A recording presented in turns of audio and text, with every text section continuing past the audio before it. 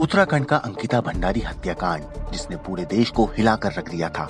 जब पैसों के घमंड में एक नेता के बिगड़े हुए बेटे ने अपने सपने पूरे करने वाली मासूम लड़की को मौत के घाट उतारा था।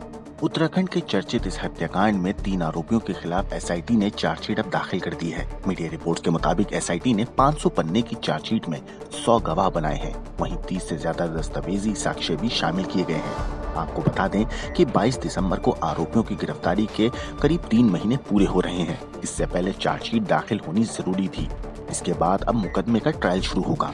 गौरतलब है कि अब इस मामले में आरोपियों का नार्को टेस्ट किया जाएगा। जाँच कर रही एसआईटी ने तीन आरोपियों का नार्को टेस्ट के लिए कोर्ट में दरख्वास्त लगाई थी, जिस पर कोर्ट ने सुनवाई के लिए अगली डेट दे दी है और अब इस मामले में 22 दिसंबर को सुनवाई होगी। रिपोर्ट के मुताबिक मुख्य आरोपी पुलकितारिया ने नार्को टेस्ट के लिए अपनी सहमति दे दी है। हालाँकि कोर्ट की मंजूरी के बाद ही उसका नार्को टेस्ट होगा। आरोपी पुलकितारिया ने कोर्ट से ये भी दरख्वास्त की है कि नार्को टेस्ट की पूरी वीडियोग्राफी की जाए। वहीं आरोपी सौरभ ने नार्को टेस्ट की सहमति के लिए कोर्ट से 10 दिन का वक्त मांगा है। वहीं आरोपी अंकित ने किसी भी प्रकार की सहमति या असहमति के लिए कोई भी जवाब कोर्ट में पेश नहीं किया है, जिसको देखते हुए अब कोर्ट ने 22 दिसंबर की डेट सुनिश्चित की है और अगली डेट पर ही नार्को टेस्ट पर फैसला आएगा। वहीं माना जा रहा है कि नार्को टेस्ट से वीआईपी के चेहरे से पर्दा भी उठ सकता है। साथ ही कई सवाल एसआईटी के हैं, उनके जवाब भी मिलने की उम्मीद है।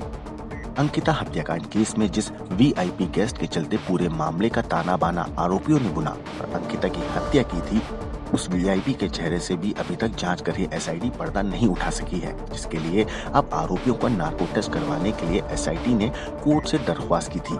आपको बता दें कि अंकिता हत्याकांड मामले में तीन महीने 18 दिसंबर को होने जा रहे हैं, जिससे पहले जाँच टीम कोर्ट में चार्जशीट पेश करेगी। मामले में ADG law and order V Murugesan का कहना है कि नार्को टेस्ट के मामले में 22 दिसंबर को फैसला आएगा और अभी तक कुलकित ने ही नार्को टेस्ट के लिए सहमति दी है। Bureau report.